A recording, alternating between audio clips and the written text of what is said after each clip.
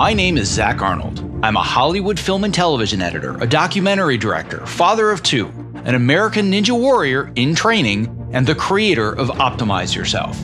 For over 10 years now, I have obsessively searched for every possible way to optimize my own creative and athletic performance, and now I'm here to shorten your learning curve. Whether you're a creative professional who edits, writes, or directs, you're an entrepreneur, or even if you're a weekend warrior, I strongly believe that you can be successful without sacrificing your health or your sanity in the process. You ready?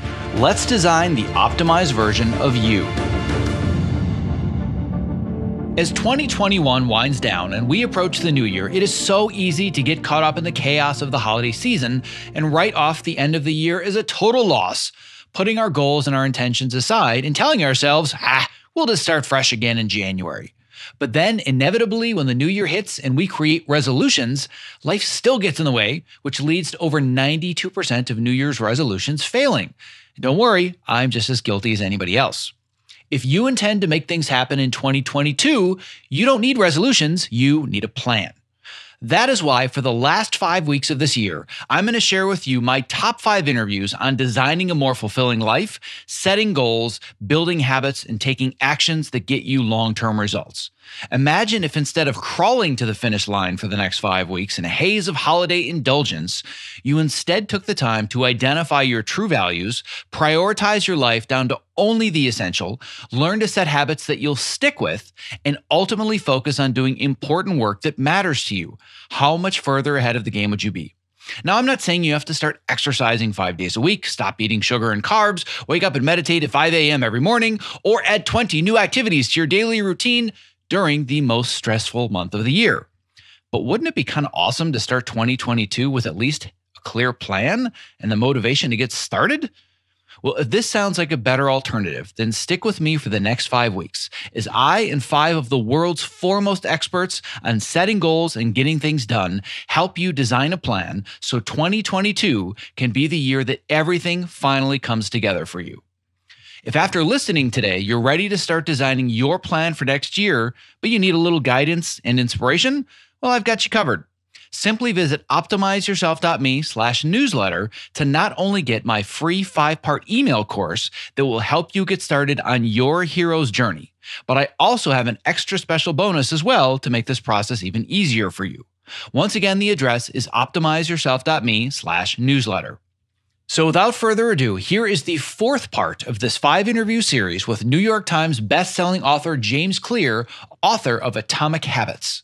This episode is sponsored by Ergodriven, creator of my favorite protein supplement, New Standard Whole Protein, which you'll hear more about in just a bit. You can find the original show notes for this interview at optimizeyourself.me slash episode 55. I'm here today with James Clear, who is an author and entrepreneur who focuses on habits and decision making. And dare I add to this, he is one of the world's foremost experts on habits. His work has appeared in the New York Times, Entrepreneur, Time. He's been on CBS This Morning. He has hundreds of thousands of people that subscribe to his email newsletter, which you can find at jamesclear.com. He's regularly spoken for Fortune 500 companies, and his work on habit formation is also used by teams in the NFL, the NBA, and MLB just for a short list of some of the things that you have done. So, that having been said, I cannot express enough what a pleasure it is to have you on my show today. Oh, thank you so much. I'm excited to be here. Just to let my audience know, they may know this already, but I'm a huge geek and nerd when it comes to habit formation and human behavior. So I swear to God, if I had LeBron James on my podcast right now, I'd be less excited than I am to have James Clear on my podcast. And that is not hyperbole. Like I literally feel like I'm talking to LeBron James right now. So I'm super, super excited. Well, thank you. Uh, I will do my best to live up to the billing. Hey, man, as, as long as you can nerd out on habits and human behavior the way that I love to, then I'm going to be happy. That's all I care about. All right, cool. So, the reason that I'm so interested in your work specifically, and I've read things by Charles Duhigg, who's kind of one of the, the godfathers of this modern habit formation movement and understanding habits and human behavior. I love Gretchen Rubin as well. But one of the things that I love about you, and you mentioned this very, very distinctly in the very beginning of your new book, Atomic Habits, which we're going to talk all about. I love the difference between knowledge and wisdom. A lot of people are providing knowledge. You provide wisdom. And the difference is that what you are doing is based on your own personal experiences. And you say flat out at the very beginning of the book that this book is not an academic research paper, it's an operating manual. And I love things that provide action steps. So, can you help my audience get to know you just a little bit to understand how you got into habit formation in the first place? Sure. So, I've been writing about habits, behavior change, and decision making at jamesclear.com for the last five or six years now. For the first three years, I wrote a new article every Monday and Thursday. I have a science background, so although it is true what you just say that uh, the book is rooted in my own experiences, and I talk a little bit about my own story in the introduction of the book, uh, pretty much all the ideas that I share are rooted in science and evidence based ideas, uh, at least to some degree. And I view it as my job to sort of be a bridge between the academic research and the scientific community and uh, the rest of the world and how we implement some of those ideas. So I'm I'm mostly interested in scientific discoveries as far as they are practical and useful and have some kind of actionable quality to them. Uh, I do that through my weekly articles, uh, but then the book, of course, is kind of like the the ultimate version of that, where I've been able to collect five plus years of research and writing and experience on the topic. It was the first time that I was really able to distill those ideas into a single cohesive framework. You know, before I sort of had 30 or 40 ideas that were all related to building better habits, but they didn't fall underneath the same umbrella. They weren't um, they weren't connected in some kind of uh, cohesive fashion. And so the part of one of the tasks of Atomic Habits was to do that in an effective way. And um, yeah, I think that's a good summary and a little bit of a background of my writing and my approach. And then uh, if you'd like, we can talk more about my personal story as well. Yes, I mean the when you say words like systems and frameworks, I get very very excited and giddy. Anybody that knows me knows I love me some frameworks and systems. But before we start to dive into the rabbit hole, I would like to understand just a little bit more of your origin story because yes, you have been writing about habits for years and you have the habit of writing about habits, which is fantastic, but there was an inciting incident that kind of got you to the place where you're like, huh, all these things have happened in my life. I feel like I need to write about habits. How did all that come about? Well, so I didn't have language for it at the time. Uh, I suffered a very serious injury when I was in high school. I was hit in the face with a baseball bat. Um, I ended up breaking multiple bones in my face, had to be air carried to the hospital in a helicopter, couldn't breathe on my own. Uh, I was placed into a coma overnight, had multiple seizures. Uh, the, the fallout from this was uh, significant and, and long. It took eight or nine months of uh, rehab and just a while before I could get back to, to speed. And so throughout this process, um, I learned uh, quite a few things, but also my hand was forced. And what I mean is that having some kind of radical transformation or a big epiphany or uh, some type of overnight success wasn't really possible for me at that point in my life. The only changes that I could manage were small ones. And I, again, I didn't have language for this at the time, but you know, I was just trying to find a way to get 1% better each day or a way to build a small habit that, you know, made me feel like I had a little bit more control over my life. And so I did that in a variety of little ways. I, you know, focused on having my room clean. I was prepared for class or prepared for practice when I finally got back on the baseball field. Baseball was a big part of my life at that time. And I, you know, I obviously had to take some time away from the sport uh, but then when I came back, um, you know, I was still focused on trying to have a good career, on being a good player. And my dad had played professionally in the minor leagues for the St. Louis Cardinals, and so I kind of had this dream of trying to play as well. And uh, and again, rapid transformation was not a possibility. So, you know, I started just building better habits. I started going to the gym three days a week, or I started uh, making sure that I was prepared for each test, or you know, as I said, keeping my room clean. Things like this that weren't significant uh, in any major way. And this is, as a in a sense, this is kind of a larger meta lesson about habits in general, which is that they're very easy to dismiss on any given day, whether they're slightly positive or slightly negative. You know, like if you eat a slightly healthier meal for, for lunch, or if you have a burger and fries, you don't really feel the impact of that, whether it's uh, slightly better or slightly worse. Your body looks basically the same in the mirror. The scale doesn't really change tonight. It's only once your habits have accumulated for two or five or 10 years that the full impact of those choices becomes obvious and apparent. And so, in that way, habits are sort of like a double edged sword. And you need to be careful about making sure you're making 1% improvements rather than 1% declines so that you can avoid the dangerous half of the blade. And this period in my life when I was dealing with this injury and trying to come back from that was really the first time that I started to do that, that I started to accumulate these small improvements. And anyway, the, the moral of the story is that I, I did not play professionally, but I did end up being an academic All American my senior year. And I feel like I did something just as important, which is I fulfilled my potential.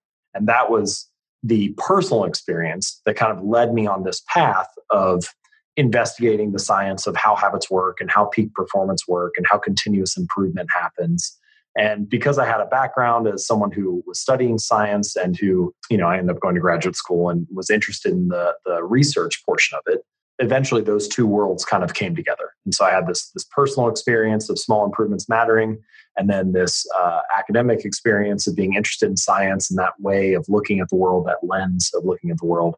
And now, for the last five or six years, they have come together, and I've been writing about those topics um, each week. Well, and I think that's one of the reasons that I gravitate to your work so much is because wisdom is just knowledge applied. And you are gathering all the knowledge and the scientific information, and you're definitely a scholar and you're into the science, but you're always applying it to practical everyday things. And that's something that I appreciate so much. And uh, the fact that you do specifically athletic training, I think, is also another reason why I gravitated to you, is because I, first and foremost, am definitely nerd when it comes to this stuff. But one of my biggest goals for this year is training for the television show American Ninja Warrior. And I've had to use everything that I've learned about habits over the last several years and really take that knowledge to the next level to get through this because physically, this is by far the hardest thing that I've ever tried to take on in my entire life. And I chose to do it just shy of 40 with two kids and a full time job working in Hollywood. So I've got plenty of obstacles to get in my way. But once I really learned the power of combining all of these small habits into these systems, that's when I realized, oh, this is actually something that I can take on. I just kind of need to be patient and really learn how to do it one habit at a time. So, the mm-hmm. takeaway that I have for my audience that I want them to walk away with is twofold. The first is really understanding the immense power of very, very small habits. And then number two, actually being able to apply that knowledge to their own lives. So, where I'd like to go next is just explain what you mean by atomic habits because when i first saw the title it's not what i expected based on all of the work that you've written in the past so i think that'll be a good starting point to help people understand power of these tiny little habits. Sure. Well, I mean, so that your training goal is a very cool example of that and a, a great a great goal, and uh, I'd love to hear how that pans out for you. I uh, I chose the phrase atomic habits for multiple reasons. So, the phrase atomic it can mean small and tiny, like an atom, and of course, that's a central part of my philosophy. Changes should be small, easy to do. Uh, you know, I've already used this phrase: "Get how can I get one percent better every day?" That idea of making a very small adjustment. But the phrase atomic also means uh, an atom is the smallest fundamental unit of a larger system. So, for example, atoms build into molecules, molecules build into compounds, and so on. And in the same way, to a certain degree, we could say habits are sort of like the atoms of our lives. Uh, they're the patterns and rituals and routines that are the fundamental units that make up what we do each day.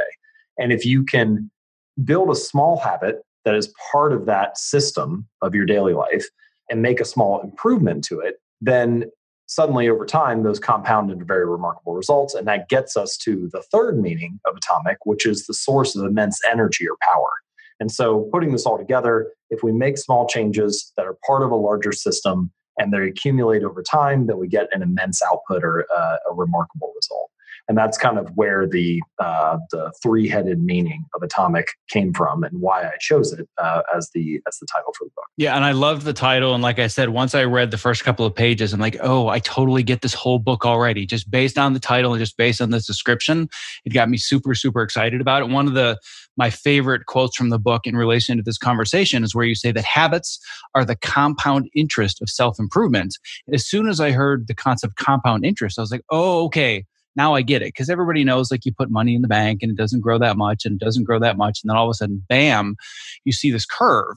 And you have this concept when it comes to habit formation that's called the plateau of latent potential. And I think this is such an important fundamental concept because when people decide they want to make a change in their life, it's all or nothing. It's I'm going to start P90X and I'm going to clean out the pantry and I'm going to get all of these healthy foods and I'm going to live off of kale and walnut salads and I'm going to get eight hours of sleep every night and I'm going to start yoga and I'm going to meditate I'm going to take a walk every day. And then it all falls apart.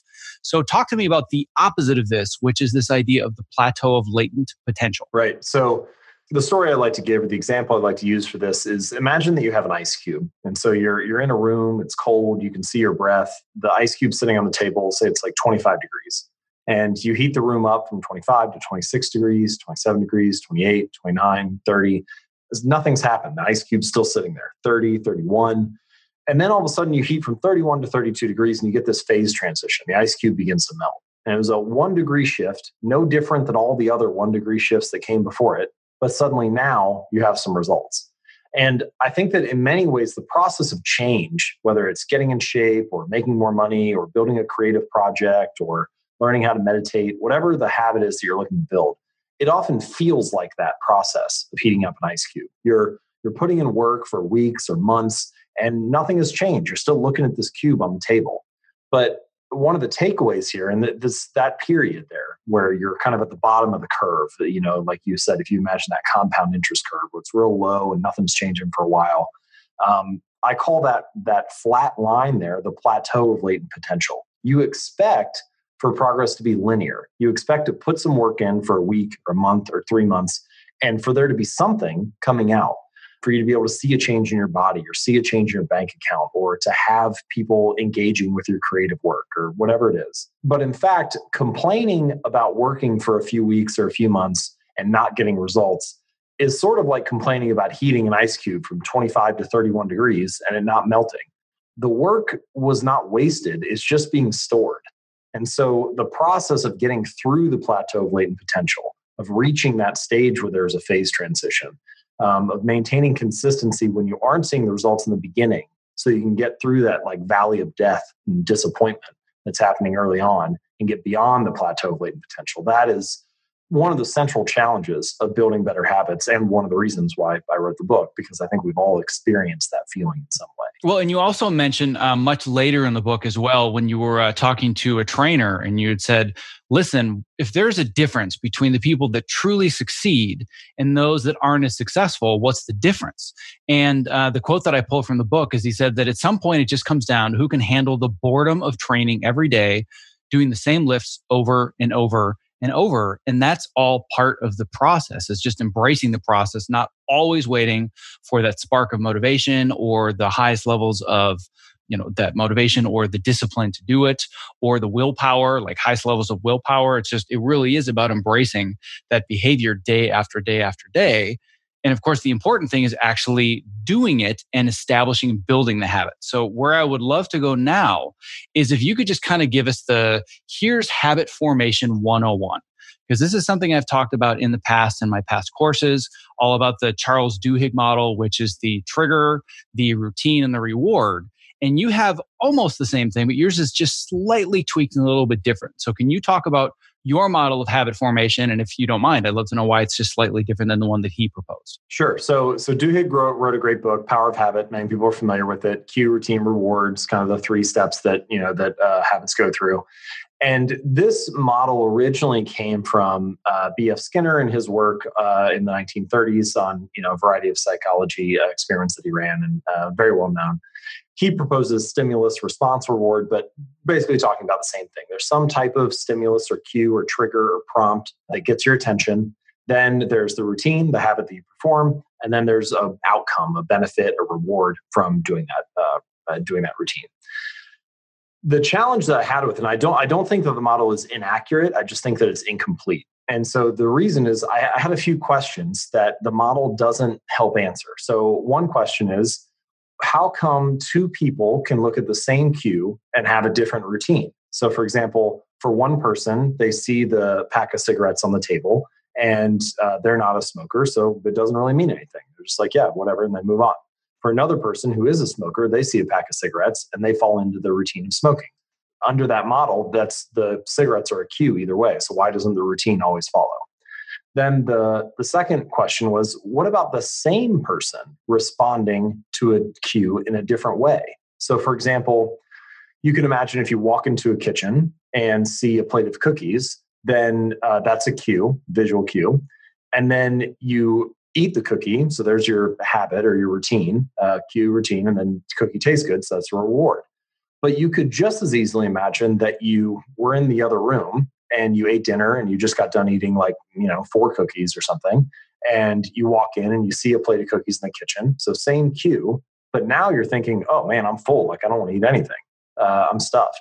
And so suddenly you don't take the same response. So the model doesn't really explain that. It's supposed to be you see the cue, the routine follows automatically. So what I realized was that there's something happening between the cue and the and the routine. There's something going on there that needs to explain why people behave differently or why they don't why the same people uh, why the same person doesn't fall into the same habit every time they see a cue and why different people respond differently to the same cue. And so my model is four stages. Uh, first, there is a cue, there's something that triggers the behavior. Then there's what I call a craving, which I would define as a prediction about what is going to come next. It's the expectation that your brain makes. So, to use that cookie example, if you walk in and your stomach is empty, then you see the cue and your prediction is, oh, that's going to taste really good. I should eat a cookie. And when the prediction is positive or motivating, when it leads to a sense of desire like that, desire is the engine that drives behavior. And you can actually, scientists have actually been able to map this. So, you, if you were to map out the dopamine levels in the brain as you're experiencing all this, you see the cue, then dopamine spikes during the second stage, during this craving, this prediction, where you say, oh, that's going to be tasty. And when dopamine is high, uh, it's more likely that we're going to be taking an action. This rise in dopamine helps drive behavior. Then you pick up the cookie and eat it. So that's the response, which is the third stage for me. Uh, and then there's finally the payoff, which is the reward. And so the cookie tastes good and, uh, and it satisfies you. Now, the reward serves two purposes. So, again, just to summarize cue, craving, response, reward. The purpose of the reward is one, to satisfy the craving that came before the action. And this is another reason that I think it's uh, important to have that second stage.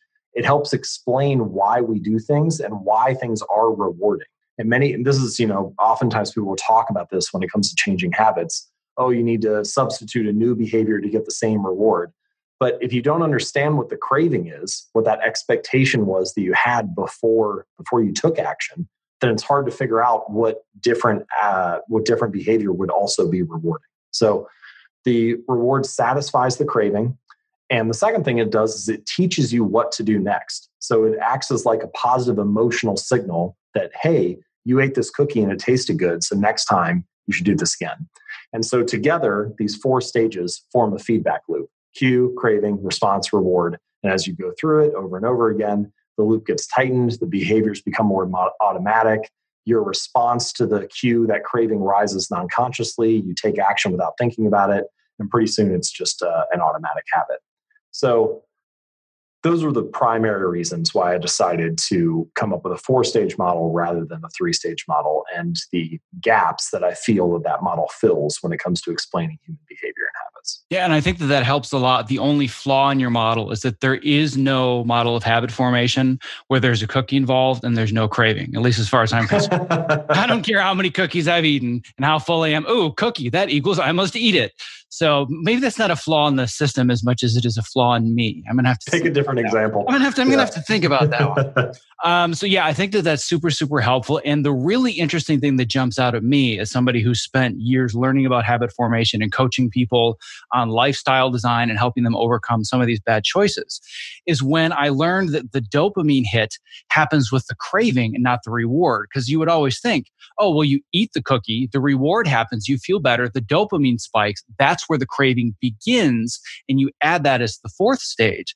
But as soon as you move to the second stage, I was like, oh, this makes so much more sense for a lot of the problems that I'm helping my clients deal with. Well, you need something to motivate you, something to, you need a reason to take action. If you, the way that I would define, so I like breaking those four stages into two sections. So the, the cue and the craving is what I call the problem phase. So it's when your brain realizes that there's a problem. And I don't mean problem uh, always in a negative sense, but in the sense that there's something that you want to change. You want to change your current state. So you you realize that you are in a, a particular state, that there's an opportunity around you, whether it's a cookie on the counter or something that you want to change. Like I'm feeling stressed and I want to you know feel uh, calm or relaxed. But you realize that there's some type of change in state that you want, and it's that change in state that you're craving. In a sense, you don't really want a cigarette. What you want is to feel relaxed, and the cigarette is just the avenue for that. The second uh, set of response and reward, that's the solution phase. And so it's when you resolve that craving or uh, devise or achieve a solution to the problem that your brain just realized. And this also gives us a little bit of insight into how habits form and how we, you know, certain people fall into different habits for the same problem. Like, for example, if you come home from work and you feel exhausted, well, there are a variety of ways to solve that problem, so to speak. So you walk in the door and you're, you know, the, the cue is the context of coming home from work.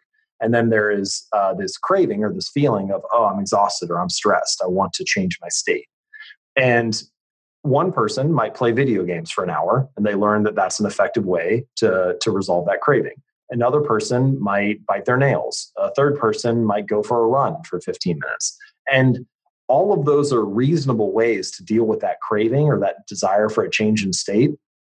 But as you settle into one of those you know most people uh, i would i think i pretty much say all people we don't try every option available for dealing with a craving. We just try one or two and then whatever we find that's uh, successful we kind of use that because it satisfies us.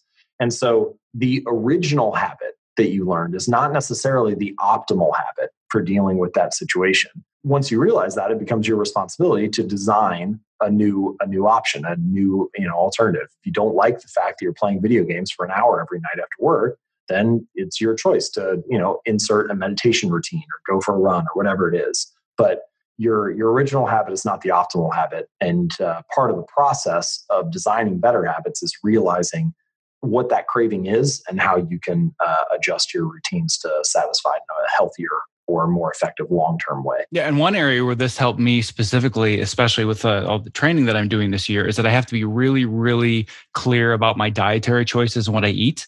And as a child of the 80s, I basically grew up eating Froot Loops for dinner well into my college years and did not develop the best dietary habits. And I spent years reshaping them. But then I realized that even as I started to clean up my diet, there were these specific cravings that I would get every once in a while. And I thought, oh, well, it's just the food industry, it's just the chemicals that they add. But as I started to dig into the deeper craving, I realized that for me, because I'm so high energy, very high intensity training, doing the podcast, doing online courses, coaching, I've got a lot of things going on and I'm always very focused and intense.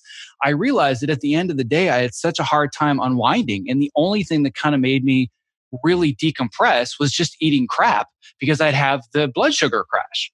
And in my brain, that equaled relaxation. And I realized, oh, well, that's not very productive. And that's not very much aligned with my identity as somebody who's training for American Ninja Warrior.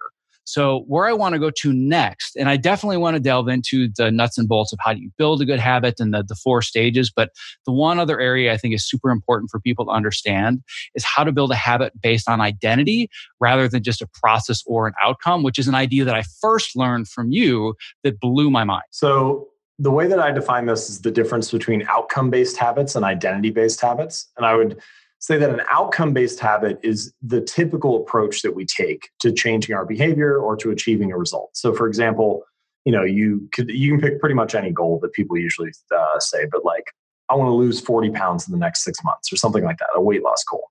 So the outcome is that then the next step is they come up with a process for achieving that. So, okay, if I want to lose 40 pounds, then the way that I'm going to do that is by going on this diet or by going to the gym four days a week or whatever. And typically the conversation stops there. It's like, okay, I want to be skinny. And if I follow this diet, then I'll be skinny or, you know, something along those lines. But I would argue that there is a deeper level of behavior change, which is your identity and the set of beliefs that you have about yourself, your self image, the principles and values that you uh, implicitly follow. And oftentimes people try to come up with a new goal and a new plan for change, but they don't shift the beliefs behind their actions. And they end up self sabotaging, they end up falling back into the same patterns that they did before. And one of the examples that I give in the, the book about this is that you know, imagine two people that are trying to quit smoking, and you ask one person, Would you like a cigarette? And they say, Oh, no, thanks, I'm trying to quit. And then you ask the second person, Would you like a cigarette? And they say, Oh, no, thanks, I'm not a smoker. Now, basically the same thing, but that language that's used, I'm trying to quit, makes it sound like I still see myself as a smoker and I'm trying to resist this, versus the other person who's saying, I'm not a smoker, signals a shift in identity. They don't, they no longer identify as someone who smokes. So it's less of a sacrifice to stick with that behavior. And a similar type of thing is going on behind all of the habits that people are trying to build if it feels like it rubs against your identity, like it conflicts with the type of person that you believe that you are, you know, oh no thanks, I'm I'm trying to quit, then it's much harder to stick with that behavior in the long run.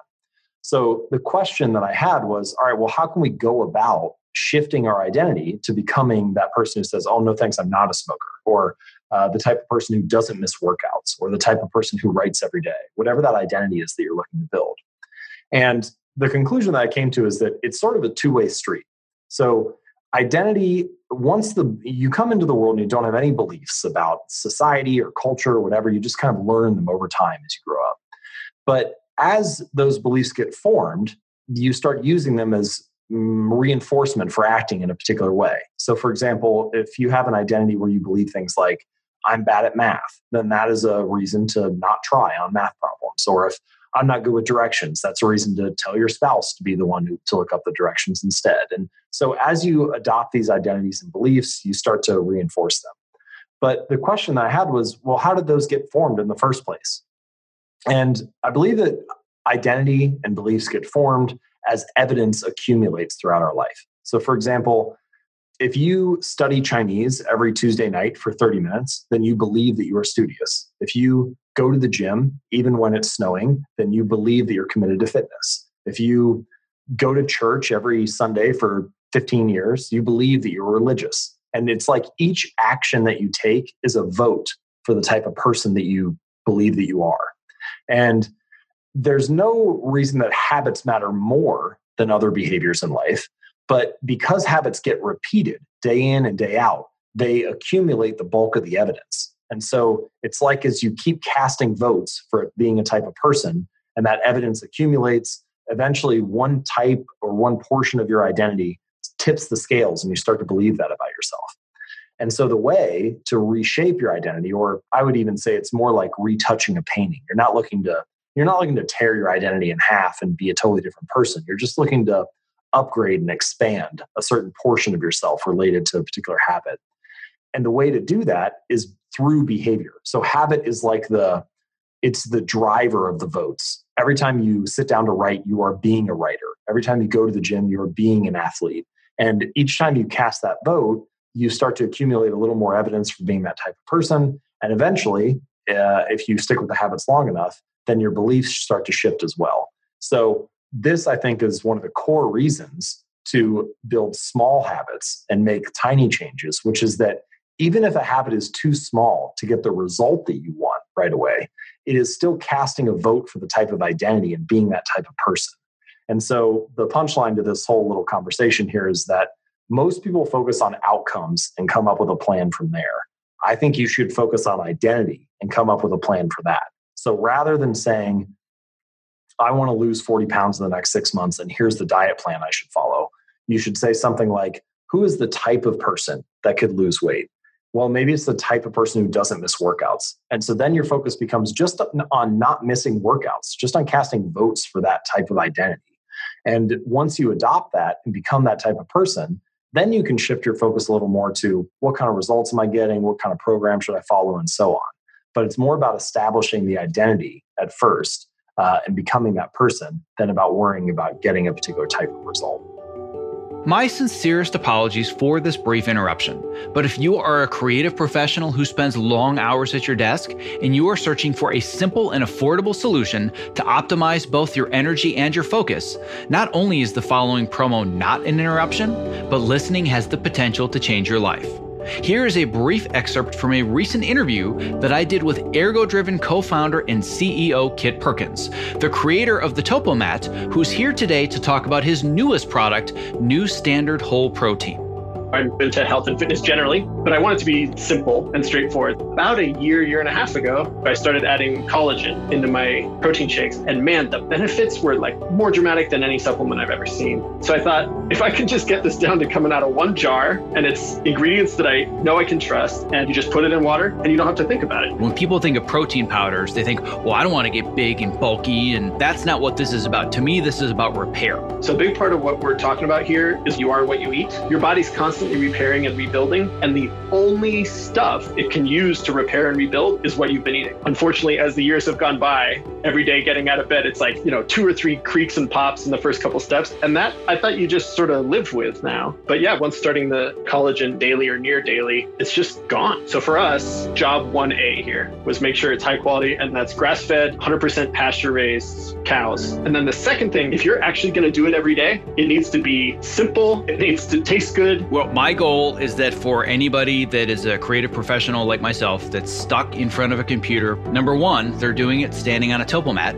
Number two, they've got a glass of new standard protein next to them so they can just fuel their body, fuel their brain. So, uh, you and I, my friend, one edit station at a time are going to change the world. And even better for your listeners, with code OPTIMIZE on either a one time purchase or that first subscribe and save order, 50% off. So if you do that subscribe and save, that's 20% off and 50% off with code OPTIMIZE. That's a fantastic deal. If you're looking for a simple and affordable way to stay energetic, focused, and alleviate the chronic aches and pains that come from living at your computer, I recommend New Standard Whole Protein because it's sourced from high quality ingredients that I trust and it tastes great. To place your first order, visit optimizeyourself.me slash new standard and use the code OPTIMIZE for 50% off your first order. And I think that a, a, way to, to dovetail perfectly into the next question about this idea of outcome versus identity in the process is also talking about the difference between goals and systems. Uh, this is just a fundamental thing that I teach to all of my students as well, where I know that Scott Adams, the famous creator of Dilbert, said that, you know, losers set goals and winners use systems. And I don't disagree with this, but at the same time, I feel that setting goals is something that makes life exciting and worthwhile. And just having systems seems boring. But what you have to do is build the systems that lead to your goal. So, can you talk just a little bit more about how you see the difference between goals and systems? Yeah, I don't know Scott personally. He seems very negative on goals. I, I think goals can still serve a purpose. Uh, so, for, and I say this in the book, you know, goals are not useless. They help us set a, set a sense of direction. Uh, they help you figure out where to focus your attention. But after you've done that, uh, and this is coming from someone who I was very goal oriented for a long time. I would set goals for the type of weights I wanted to lift in the gym, the grades I wanted to get in school, the results I wanted in my business. And sometimes I would achieve them, but a lot of the time I would fail. And what I realized was that whether or not I set a goal had very little to do with whether I achieved an outcome. And if you think about this, winners and losers often have the same goals. You know, like every candidate who applies for a job wants to, has the goal of getting the job. Uh, every athlete who's in the Olympics has the goal of winning the gold medal. And so it, it, can't be the goal that separates them. They all have the same goal. So what is it that, that actually makes a difference? And I think that it's the system behind the goal. It's the process that you follow. And so, as soon as the goal is set, as soon as you know what direction you're moving in, it really serves you to put the goal on the shelf and focus instead on the process that you're following. The other thing that's crucial to realize about this is that achieving a goal, no matter what it is, even if it's your dream of you know winning the Super Bowl or building a million dollar business or writing a best selling book, achieving a goal only changes your life for the moment. So, for example, let's say you have a goal of cleaning your dirty room well, if you get a burst of motivation, you can clean the room and you'll have a clean room. But in three weeks, if you haven't changed the sloppy habits that led to a messy room in the first place, then you end up with a messy room again. And so this is something that, you know, we often think we need to change our results, but really the results are not what need to change. It's the process or the system behind the results. And so in many ways, people try to treat symptoms without treating their cause. And I would argue that habits, and this is how they overlap with this systems analogy here, this systems discussion. Habits are the unit, again, coming back to that atomic phrase or uh, meaning, the fundamental unit of your systems. Whatever results that you have right now, your, your current life is perfectly designed to produce your current results. Your current system is perfectly organized to deliver your current outcomes. And so, if you want a different outcome, if you want a different result, you need to design a different system. And the way to do that is by building better habits or by accumulating new habits. And uh, so, in that way, habits are sort of the, the gears that make the system run. They're the, the fundamental components, the unit of the machine. And uh, that's one reason why I think they're so essential. And how paradoxically they can often deliver the results you're looking for by not focusing on the result and actually focusing on the habit. Well, speaking of building better habits, now I want to jump into the rabbit hole and I want you to start talking about your framework for building a habit in four simple steps. And we obviously don't have the time to go into all of it as much as I would love to. But just first, give me the very, very brief overall framework of the four steps. And then there are a few key areas where I do want to dive deeper because I think they're super, super important to help understand this overall picture of the importance of small habits. Sure. So, We've already covered the four stages of the habit cue, craving, response, reward. And associated with each of those four stages, I've come up with what I call one of the laws of behavior change. So there are four laws of behavior change. So, for example, for the cue, the law is to make it obvious. For the craving, make it attractive. For the response, make it easy. For the reward, make it satisfying. So, make it obvious, make it attractive, make it easy, make it satisfying. Those are sort of the four laws of behavior change. And you can imagine each of those four laws kind of like a lever. And when the levers are in the right places, building good habits is very easy uh, and almost effortless sometimes. When the levers are in the wrong places, building good habits is almost impossible. And uh, the real power of the system is that you can invert these laws to make it uh, more likely that you'll break a bad habit. So, for example, you want to make your bad habits make it invisible instead of make it obvious, make it unattractive, make it difficult, make it unsatisfying. And so those are the, the four laws of behavior change, and they sort of form the backbone of the book as I walk through different examples of how to put those into practice and strategies for uh, accomplishing those four things where I specialize in working with my audience, with the people that I write to, that I coach, I love working with beginners that just kind of want a foundation of getting started with whatever it is, whether it's I'm just trying to, you know, move into a new career or transition to a different part of my career, or I've never lost weight before, I've never eaten healthy, and there's so much information and I just don't know where to start. I'm really, really good at parsing down extremely difficult packets and amounts of information into something very succinct, which is why for a living, I'm a Hollywood film and television editor because I'll take 90 hours and turn it into 40 minutes. And knowing that where I really want to start is step one with I just want to start a new healthy habit. I understand all the stuff about goals and systems and atomic habits. Sure, that sounds great. But where do I start? I get to make it obvious, but what does that mean? Sure. So there are a variety of ways to look at this problem. Uh, so the first way is to say, the process of behavior change always starts with awareness. You, if you are not aware of your current habits, then you don't really have much hope of designing them in any reasonable fashion. So, one of the exercises that I recommend in the book is what I call the habit scorecard, uh, which is essentially just analyzing all of your habits. You write down from the time you wake up, you know, what what habits do you perform? So, turn off my alarm, I check my phone, I get out of bed, I go to the bathroom, I take a shower, I brush my teeth, I get dressed, on and on and on. And as much detail as you want is fine. More detail, especially the first time you do it, is typically useful. And the process of doing this, the purpose is not to judge yourself for your habits being good or bad or to feel guilty about it, but you just want to have a sort of um, an overview of what your habits are on a daily basis. And then you can go through and start to grade them. Is this a good habit? Is this a neutral habit? Is this a negative habit? And again, you're not trying to feel guilty about it. You just want to see, like, oh, okay, I'm eating more than I would like, or I'm checking my phone more often than I should. Uh, almost like you're observing someone else doing it rather than yourself. And so once you have that as a baseline, well, now you're aware and so you have the chance to, to change it and to uh, to make some positive improvements. The other thing that i want to mention as well especially with either starting a new habit or trying to break a really bad one is everybody's thinking they just have to get motivated. I just need to be more disciplined. I need more willpower. I just have to power through.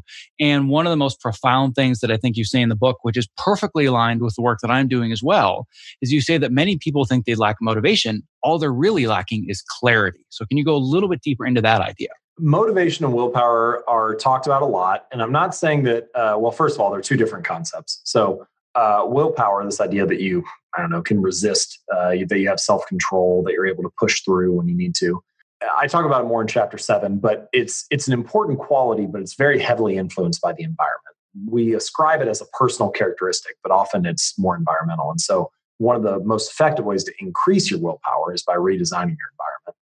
But the second thing, motivation. Now, motivation is important because you know I mentioned as the second stage, right? Craving is it's some type of motivation that drives us to take action.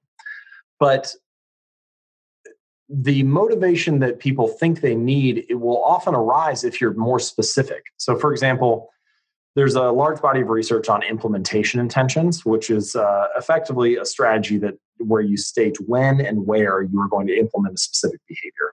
And there have been a, a bunch of interesting studies done at companies where they find, like, you know, if they're trying to get uh, employees to take their annual flu shot, that if they send out a mailing that just says, take your flu shot, uh, only a certain percentage of people will sign up and many people will forget. But if they send, send out a mailing that says, you've been signed up to get your annual flu shot on November 12th at 1 p.m., click here if you need to change the time and date then so many more people will follow through. It's like their the clarity of it has already been decided for them, and so they they have the motivation, if we want to use that phrase, uh, to get their flu shot.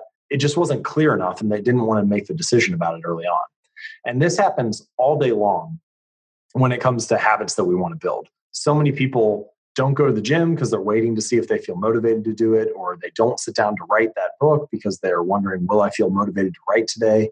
And instead, if you can come up with a very specific time and location for when you're going to perform a behavior, it's much more likely that motivation will arise. So, you know, I will write for five minutes at 9 a.m. before I leave to go to work or something like that. But the more specific the intention is to implement the behavior, the more likely it is that motivation will arise. Yeah, and that uh, reminds me of one of my favorite quotes of all time, which is that I only write when inspiration strikes. It just happens to strike at 8 a.m. every single morning. So I had a moment like that early on in my writing career. I was talking to a friend of mine, and he had written a couple books already. I hadn't written much. I had just started writing at jamesclear.com.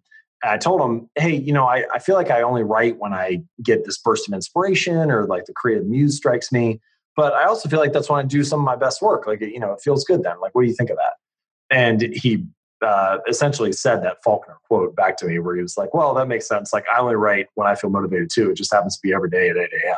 And I was like, oh, this is the difference between professionals and amateurs, right? Like, amateurs do things when it's easy, when they feel motivated, when they're inspired and professionals do things on a schedule. And uh, if you, I don't think that is necessary in every area of life, but if you do have two or three areas that feel important to you that you want to make progress on, then you need to treat it like a pro. And a big part of that is knowing when and where you're going to show up to do the work. Yeah i mean i'm i'm only uh, motivated and excited to train for ninja warrior at uh, 7.30 on tuesday 7 to 9 p.m on wednesday 8 8 p.m to 9 p.m on thursday and 7 to 8 a.m on friday and 9 a.m to 1 p.m on sunday. Those are the only times i'm really motivated to to really uh, you know achieve this goal so yeah, right. but the more I, you establish it, the more likely it becomes uh, exactly that, you, that motivation and, does arise. At that yeah, time. and and what I found is that I've hit these plateaus that they talk about in the you know the the physical training world, where I'll just go a month where it's like, oh, I just I don't have the energy, and this is just not that fun, and I'm not losing any weight, and I don't feel like I'm getting any stronger. But it doesn't matter because I have a colored block on my calendar that says I need to show up. So my my uh, my superpower is that I show up you know, like I right now I'm training with uh, Tony Horton on his back uh, backyard ninja gym every Sunday morning, and I just keep showing up. And they're like, "Man, you're you're really making a lot of progress, and you're really moving forwards." And we've been really impressed. I'm like, "That's because the one thing that I do really, really well is I just show up. After that, I make no guarantees, but I will always be there at the same time." on time and whatever I've got, I've got and I'm going to give it. But that to me is the reason that I've gotten so far in both my career and any endeavor and any goal is I build the system and then I say, you know what? I'm just going to keep showing up whether or not I want to or not. So that has made a huge, huge difference. Yeah, that's a this is something I cover when I talk about the third law of make it easy. But optimizing for the starting line rather than the finish line is a really important thing. And so, you know, to use your language, like you're you're mastering the art of showing up. I've had a variety of readers who've used this in, in different ways one of them this guy he ended up losing over 100 pounds and the thing that he did in the beginning was he would go to the gym every day, but he wasn't allowed to stay for longer than five minutes. And so this sounds so backwards to someone who's trying to get in shape. But what he was doing was he was mastering the art of showing up. He was building the habit of going to the gym every day.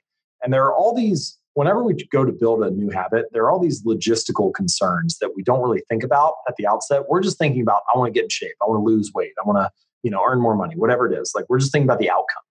But if he's going to go to the gym and build a habit of this, then there are a bunch of questions that need to get answered. Like, okay, which gym will you go to? What route will you take to get there? What time are you going to go? Will you go by yourself or with someone else?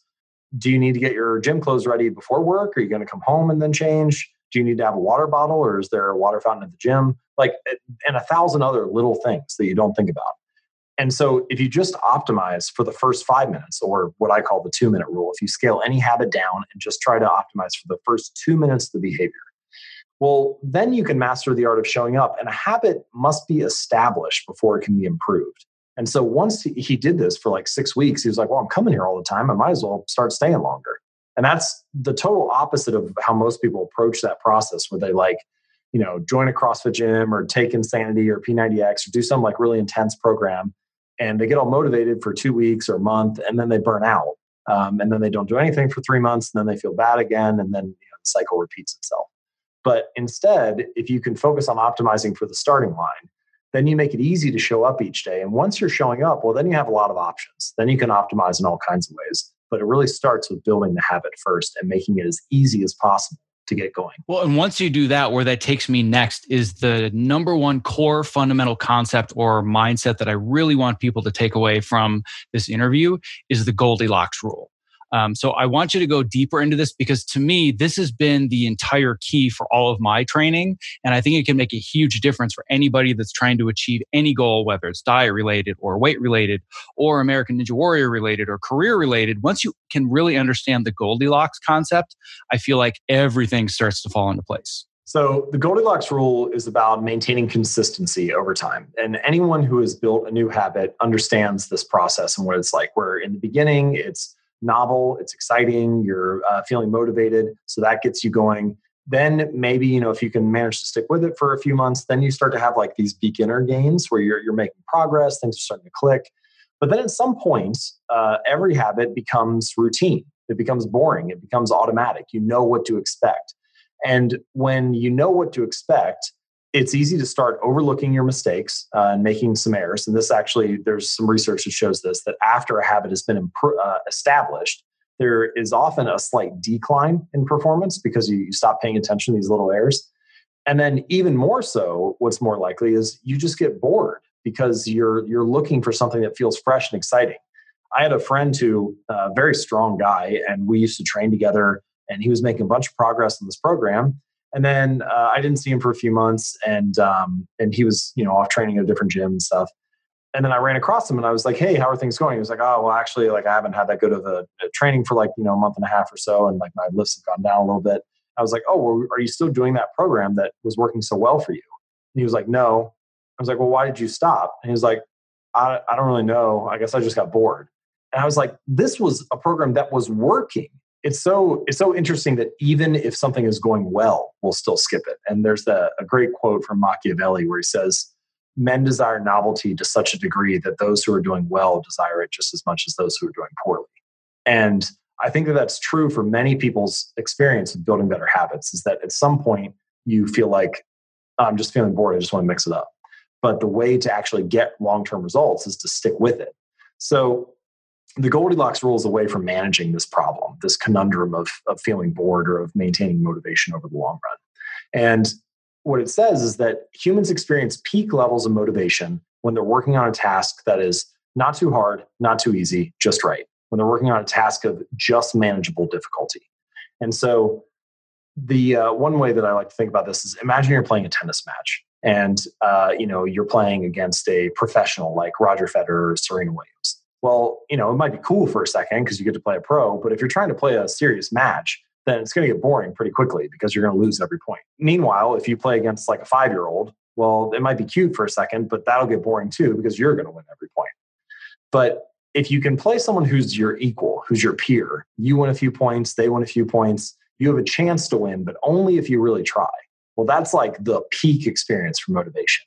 And the goal for building habits and making long term improvement for continuing to progress is to stay on that razor's edge where it's just pushing you enough.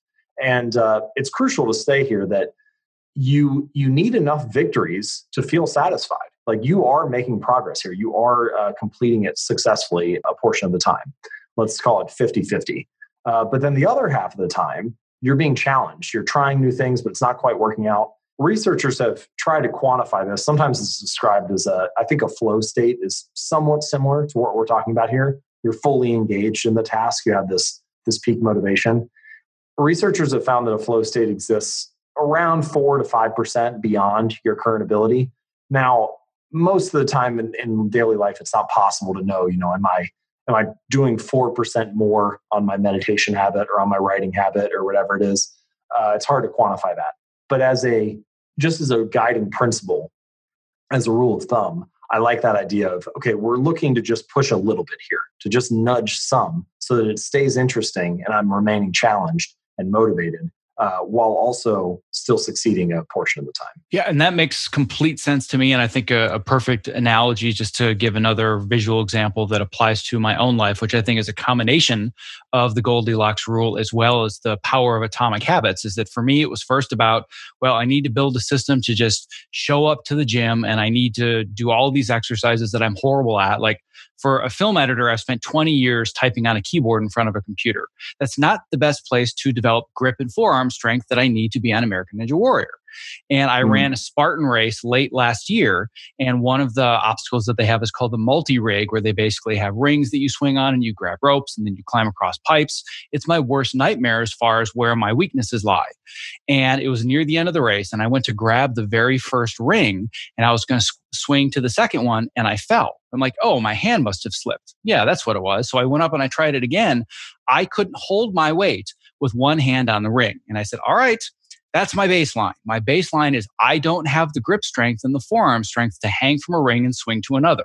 So my goal is to get strong enough so I can grab the second ring. But that was it. It wasn't my goal is to be an American Ninja Warrior. It was the goal is to get strong enough and do proper exercises to grab the second ring. And then as I started to be able to do that, I could swing on multiple rings.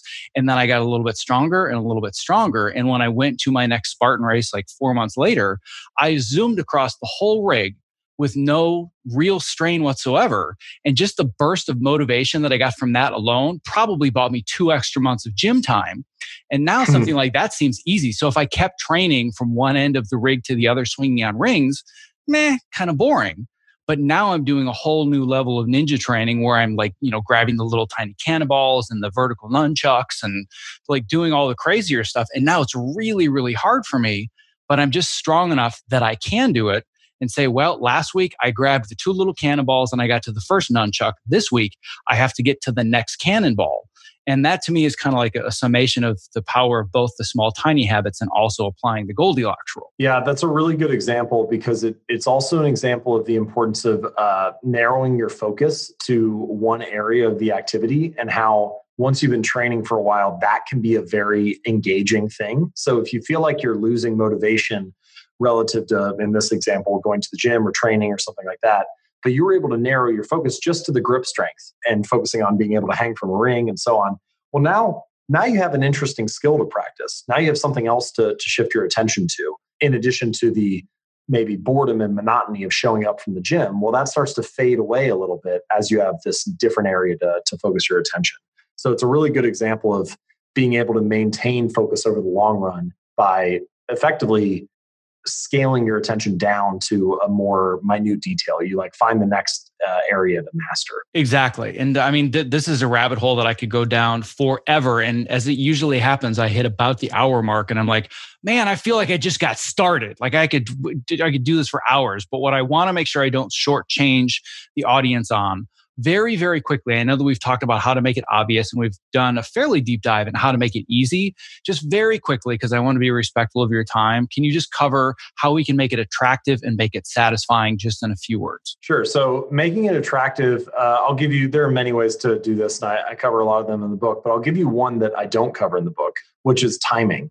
So the, the time that you ask yourself to do a habit can have a big impact on whether or not it is attractive to you for example, if you are looking to build a meditation habit, but you are trying to build it in the morning and you have like two little kids and they're running around trying to get everybody dressed, well, like that's a bad time to do it.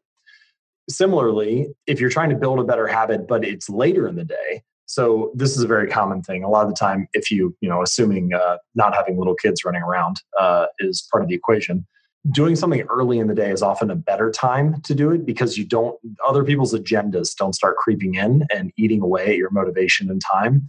Uh, but if you you know if you ask yourself to do something complex or difficult later in the day well maybe you're feeling exhausted at that point.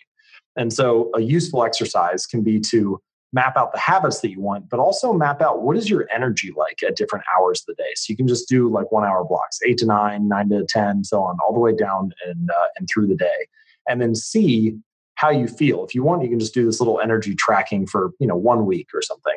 And that'll give you a little bit of data on what your patterns are normally like. And then take that habit you're trying to build and make sure you're asking yourself to do it at a time when you have the appropriate energy for that task. So for myself, I found that writing, I, I tend to write better either in in the morning or late at night. And so that's really when I ask myself to work on articles. Otherwise, I, I like during the middle of the afternoon, it's not a good time for me. I have trouble concentrating on it it's much better to do interviews or focus on emails or so on. So, whether or not a habit is attractive often has to do with the timing. Make it satisfying. So, the one key point that I'll point out with this is that the immediacy of a reward makes a big difference on whether or not it is effective for building a, a new habit. So, in the book, I lay out something that I call the cardinal rule of behavior change, which is behaviors that are immediately rewarded get repeated, behaviors that are immediately punished get avoided and it's very much about the speed of the of the punishment and or of the reward that determines whether you want to stick with something or not. And one way to think about this is that a reward is like an emotional signal uh, to your brain that says yes this was good. You should repeat it in the future. And so positive emotions cultivate habits and negative emotions destroy them. And if you can find a way to feel positive right after you perform a new habit well then you have a really good reason. Your brain has a good reason to repeat it again in the future. And so you need to find a way to make the experience enjoyable in the moment. This is one of the core challenges about building better habits. You know, so pretty much every behavior produces multiple outcomes across time. So for example, if you eat a donut, right now it's tasty, so the immediate outcome is favorable. But the ultimate outcome is maybe that you gain weight or you don't have as good of health in two weeks or two months or whatever. So the ultimate outcome is unfavorable. With good habits, it's the reverse going to the gym right now requires effort and sweat and sacrifice. So the immediate outcome is sort of unfavorable. But the ultimate outcome that you're in shape in two weeks or two months is favorable. And so much of the battle of building good habits and breaking bad ones is about figuring out ways to pull the long term consequences of your bad habits into the present moment so you feel a little bit of that pain right away. And the long term benefits of your good habits into the present moment so you feel a little bit of that pleasure right away. And in many ways, you know, there are a lot of research studies that show people who delay gratification get better results or have higher test scores, earn more money in their jobs, have greater social skills, all this type of stuff. But part of me wonders if the people who appear to be good at delaying gratification, so for example, if you go to the gym three days a week, people are like, oh, they're so good at delaying gratification, you know, they'll be fit in a few months or whatever, but they, they still work out now. But it doesn't actually feel like that for me when I go to the gym there are a variety of reasons that I enjoy going. You know, we talked about identity. I'm casting a vote for being the type of person who doesn't miss workouts. It feels like it aligns with my identity. Another reason is that I get to see friends and people that I know there, so that's an immediate benefit. Uh, it helps me like reduce stress from the day. And so part of me wonders if people who appear to be good at delaying gratification from the outside are actually just good at finding alternative ways to be satisfied in the moment which effectively solves this problem that I just laid out, which is that you have this mismatch between the immediate outcome and the ultimate outcome. And if you can find ways to be immediately satisfied, then you have a reason to kind of stick through that plateau of latent potential and that valley of death while you're waiting for the long term rewards to arrive. And so, following the fourth law, make it satisfying, is largely about finding ways to get a little bit of immediate enjoyment I know that for me, one of the things that I hang on to specifically with the ninja training, just with exercise in general, and I've talked about my extensive history with my audience about burnout and depression and severe anxiety. And I found that there's no better antidepressant on the planet than doing high intensity exercise on a regular basis. So yeah, it's great to, you know, start to lose weight and get stronger and all that, but those are always things that are going to happen to my future self.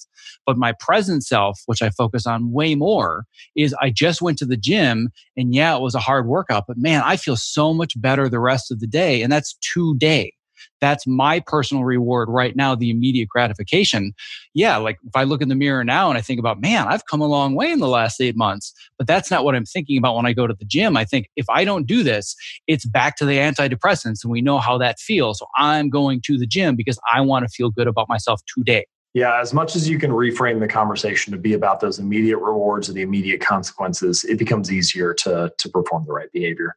Well, speaking of rewards, this has probably been one of my favorite podcast interviews of all time. I don't think a conversation has flowed this effortlessly ever. So I am just immensely grateful for the time that you've given me. I seriously could go for at least another two hours and make this a marathon. Um, but unfortunately, I have things to do, and I'm sure that you have things to do as well. So I'm going to cut it short here. But I want to make sure before I go that everybody listening knows where to find you, where to find your writings, and how to get your book. Sure. So uh, you can just go to jamesclear.com if you'd like to see more of my work or browse some of the articles. We have articles organized by categories and different topics, so feel free to poke around there and see what interests you. Uh, the book, which is Atomic Habits An Easy and Proven Way to Build Good Habits and Break Bad Ones, is available at atomichabits.com. And if you go to that site, then you'll be able to see some additional resources. There are a couple uh, bonus chapters that were cut from the book that you'll be able to download, things like that. So atomichabits.com. Awesome. Well, James, I cannot thank you enough for taking the time to be here with me today to not only educate my audience, but just educate me and make me an even better, stronger, and consistent person. So, so thank you so much. Yeah, thank you again. I really appreciate it. And uh, very nice of you to say those things. So I'll do my best to keep good articles coming your way. I hope you enjoyed this interview with James Clear. If you'd like to access the original show notes, simply visit optimizeyourself.me slash episode 55. And as a reminder, if you would like some guidance and support setting goals for 2022 that you will actually follow through with, don't forget to sign up for my free five-part email course on designing your hero's journey. Visit optimizeyourself.me slash newsletter to get started, and I'll even throw in a special bonus guide to make this process even simpler for you. Next week, in the fifth and final part of this series, I'm sharing one of the most popular and transformational interviews that I've ever done that has had a huge impact on not only me, but on hundreds of my students in my coaching and mentorship program. I will be talking with none other than best-selling author Cal Newport to discuss the concept of deep work. Until then, have a safe, happy, and healthy holiday season and be well.